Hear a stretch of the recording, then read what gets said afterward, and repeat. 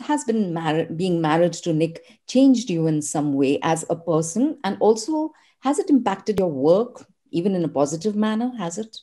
Your style of work? I think the the it's he has impacted me in a big way. I've become a lot calmer in life.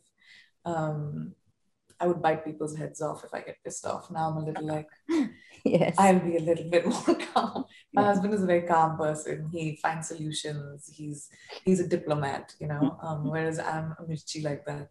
If I mm. go off, I go off.